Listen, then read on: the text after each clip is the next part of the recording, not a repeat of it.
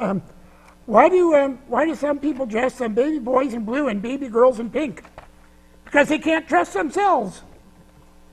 Okay, moving.